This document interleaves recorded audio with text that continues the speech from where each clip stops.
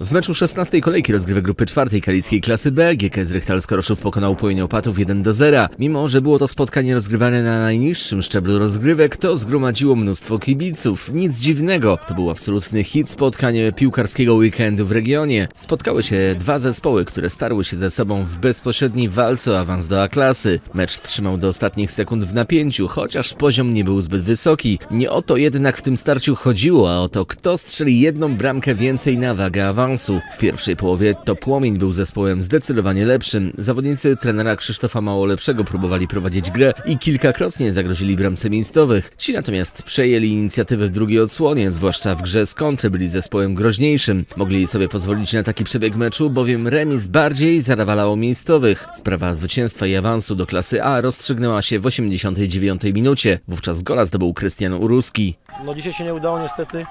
Muszę teraz pogratulować drużynie miejscowej, no bo wygrali, ale mecz był wyrównany, widziałeś. No baraże już mamy zapewnione w tej chwili. No i no musimy je wygrać, żeby już w tym roku się cieszyć, nie jak w tamtym roku, żeby jakiś tam e, szczególik odskoczył, żeby tego awansu nie było. Można powiedzieć, że po tym zwycięstwie dzisiaj nad Opatowem mamy już na 100% zapewniony awans do A-klasy, także wszyscy bardzo się cieszymy. W ogóle wszyscy od nas tego oczekiwali, kibice i zarząd, e, także ja się bardzo cieszę. E, Ogólnie uważam, że mecz był wyrównany e, i, i tutaj w pierwszej połowie uważam, że Opatów był lepszą drużyną.